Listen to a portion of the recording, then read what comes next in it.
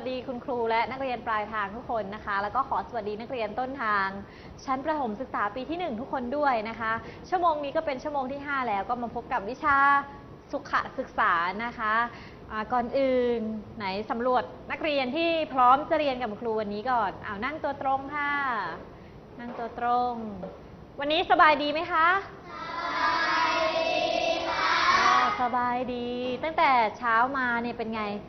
ตั้งใจเรียนไหมเอ่ย ตั้งใจเรียน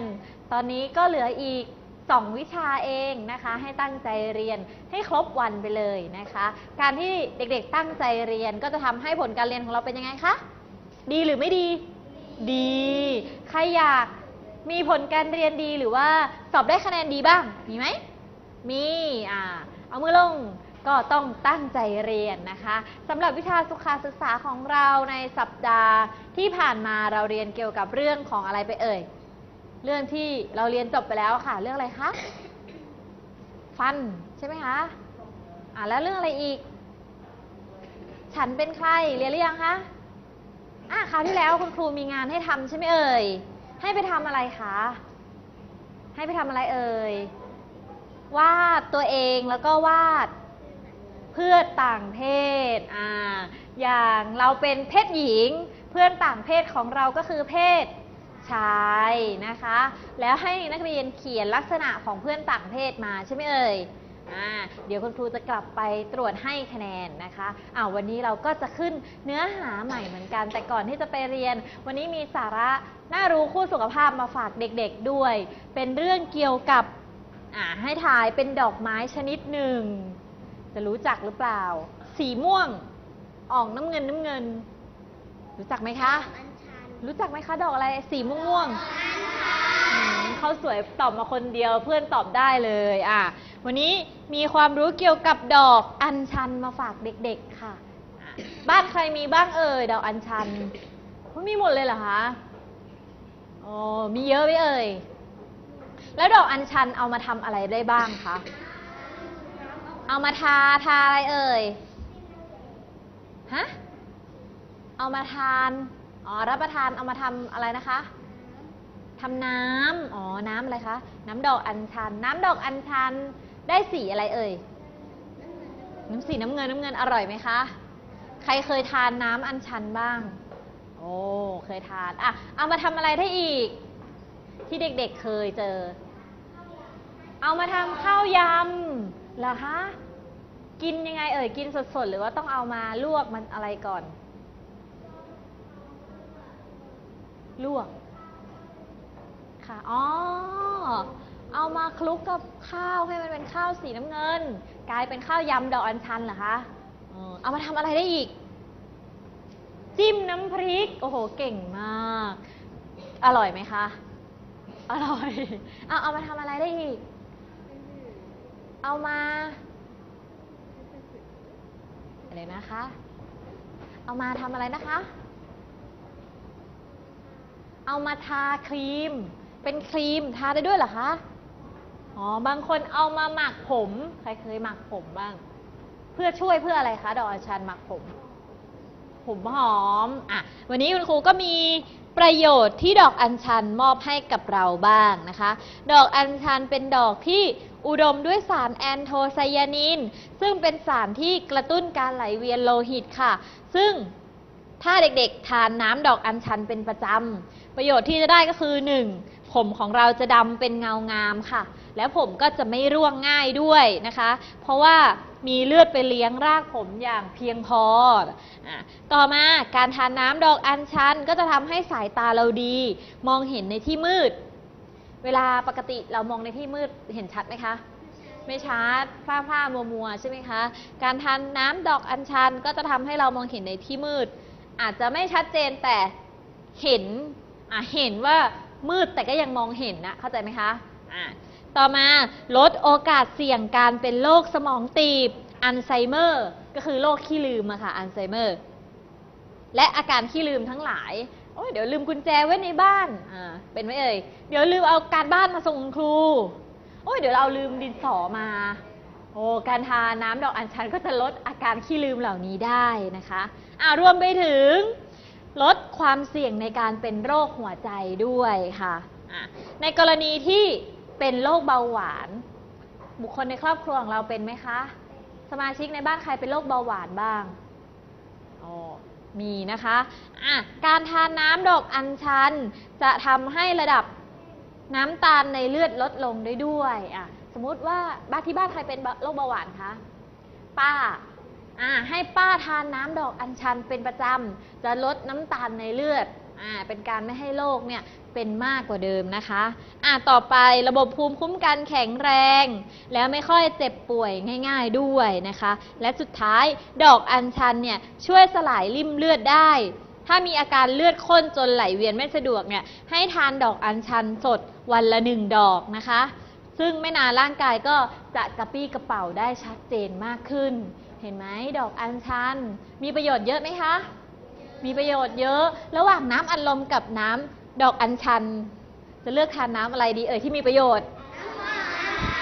โอ้ยยังมีคนตอบน้ำอัดลมอีกอะให้เลือกถ้าเลือกได้นะคะ ให้ทานน้ำดอกอัญชัน เพราะว่าประโยชน์มีเยอะต่อร่างกายของเรามีประโยชน์ด้วยนะคะอ่าวันนี้ก็มีประโยชน์สาระความรู้มาฝากเด็กๆนะคะอ้าวทีนี้ มีความรู้เรื่องสุขภาพแล้วก็ต้องมาสร้างสุขภาพให้แข็งแรงกับคุณครูก่อน อยากให้ยืนขึ้น อะยืนขึ้น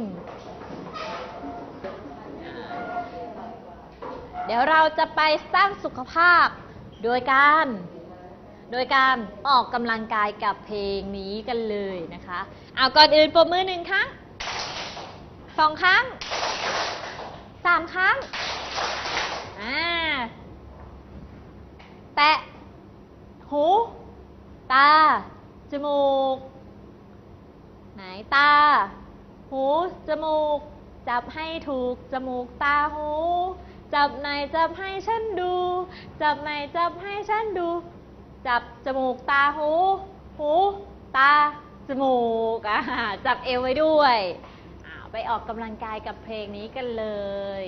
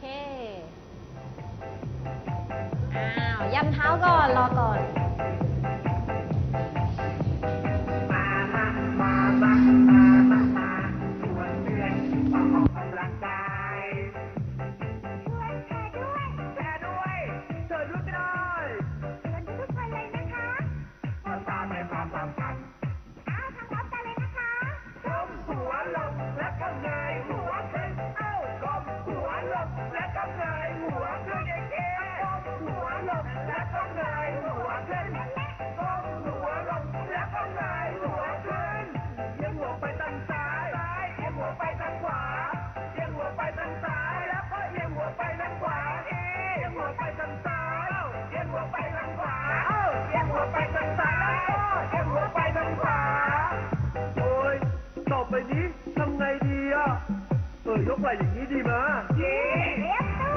ยกไหล่ขึ้นสูงสูงเอ้ายกไหล่ขึ้นสูงสูงยกไหล่ขึ้นสูงสูงแล้วก็ยกไหล่ขึ้น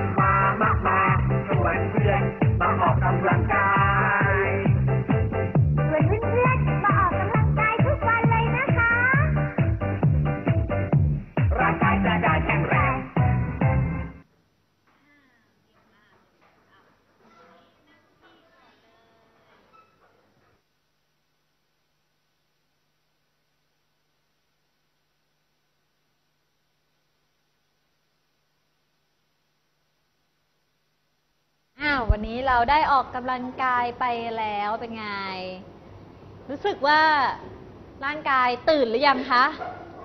ตื่นแล้วง่วงนอนไม่เอ่ยไม่ง่วงแล้วนะคะอ้าวมาดูเนื้อหาที่เราจะเรียนวันนี้เลย เรายังอยู่ในหน่วยการเรียนรู้ที่ 2 ชีวิตและครอบครัวนะคะ เราเรียนไปแล้วหนึ่งก็คือเรื่องฉันเป็นใครอะคราววันนี้เราก็จะเรียนเรื่องที่สอง เรื่องเข้าใจตนเองไหนลองอ่านสิคะอ่าใจตนเองเรื่องเข้าใจตนเองก่อนอื่นเรารู้แล้วว่าเราเป็นเพศชายหรือว่าเพศหญิงใช่ไหมคะ เรารู้แล้วว่าลักษณะเพศหญิงเป็นแบบไหนอ้าวใครเป็นเพศหญิงบ้างมือลงถามว่าเพศหญิงมีลักษณะเป็นแบบไหนคะผมยาว เสียงแหลม หมดยัง เสียงไพเราะอ่อนหวานเอามีอีกไหมมีอีกไหมมีอีกไหมคะ ใส่อะไรคะอ่าชุดแต่งกายใส่กระโปรงอ่านี่คือลักษณะของเพศหญิงแล้ว นิสัยล่ะคะ ความชอบการเล่นอะไรอย่างเงี้ยชอบอะไรเป็นยังไงเอ่ย อะไรนะคะอ่าเป็นอารมณ์มีอารมณ์เป็นยังไง อารมณ์อ่อนไหวง่ายอ่าชอบเล่นแบบไหนคะ ชอบเล่นตุ๊กตาใช่ไหมเอ่ยอ่าและเพื่อนที่เล่นด้วยส่วนใหญ่จะเป็นเพื่อนผู้หญิงอ่าอันนี้คือลักษณะนิสัยของเพศหญิง ก็คือเขาจะเล่นอะไรที่ไม่ค่อยผาดโผนหรือว่าเล่นอะไรที่นุ่มนวลนุ่มนวลนะคะอ่าทีนี้ลักษณะของเพศชาย เพศชายไหนใครเป็นเพศชายยกมือ ถามว่าเพศชายมีลักษณะอย่างไรคะอ่าผมสั้นแข็งแรง โอ้ใช้กำลังเยอะอะอะไรอีกคะ อ๋อ ต้องใส่กางเกงด้วยอ่าแล้วนิสัยใจคอของเพศชายนี่เป็นยังไงเอ่ย ชอบยังไงคะ ชอบเล่นหุ่นยนต์ออเออเออชอบเล่น ชอบเล่นชกต่อย ชอบเล่นต่อยมวย